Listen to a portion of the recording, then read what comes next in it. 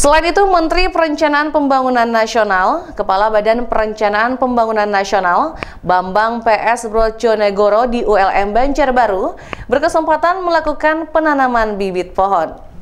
Menteri Perencanaan Pembangunan Nasional, Kepala Badan Perencanaan Pembangunan Nasional, Bambang PS Brojonegoro, didampingi Rektor Universitas Lambu Mangkurat Sutarto Hadi, berkesempatan melakukan penanaman bibit pohon meranti di lingkungan auditorium kampus ULM di Banjarbaru.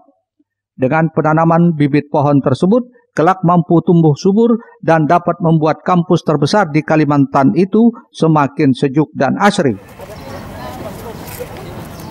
Kemudian juga mengenai Kepala Dinas Kelautan dan Perikanan ya. Provinsi Kalimantan Selatan yang pohon cintuk.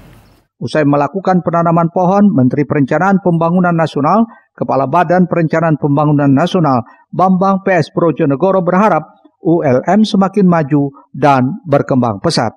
Rijali Apandi, Banjar TV.